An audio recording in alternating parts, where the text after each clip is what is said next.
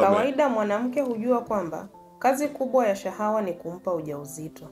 Oya, we- oya, oya leo vitu vya shahawa. Mi nimekwambia TikTok kama ingekuwepo enzi ambayo mimi nasoma.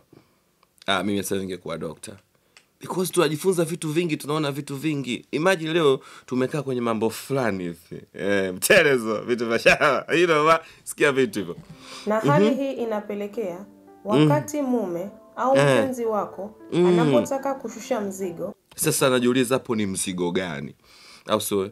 Kwa sababu hapa anasema faida mbili za shahawa kwa mwanamke, na daktari wetu I ni daktari au ni mwamba tu au mwanamama kajiongeza content creator.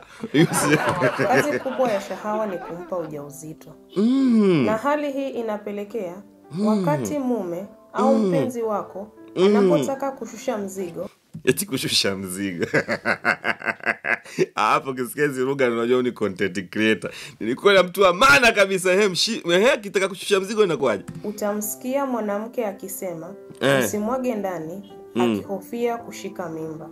No. Hivyo basi leo Ah. nitazungumzia faida mbili za mwanamke kumwagiwa shahawa.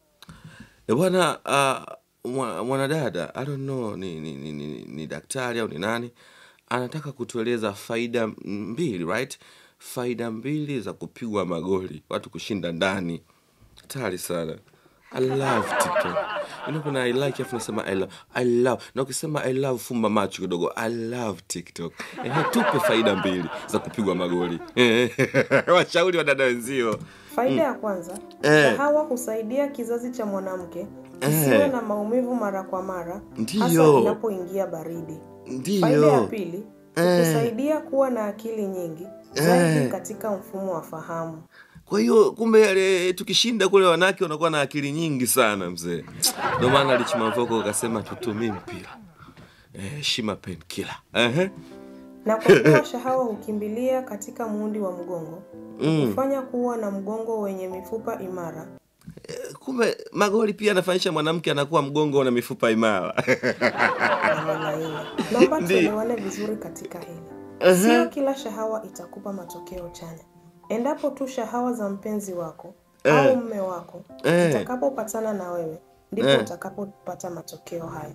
Ah, kwa hiyo sio magoli yote yanakuwa kwamba yana matokeo chanya. Kama matokeo ambayo hasi nakuwa ndio wanapatikana wale watoto wa ovyo, vijana wa ovyo. Lakini pale ambapo zitakinzana, Zinakinzana. kupelekea kukonda kila siku. Ndio. Kama kitu, Eh, usiache kulike video hii Ndio. Endelea kuendelea kufollow account hii eh. kuendelea kujifunza zaidi.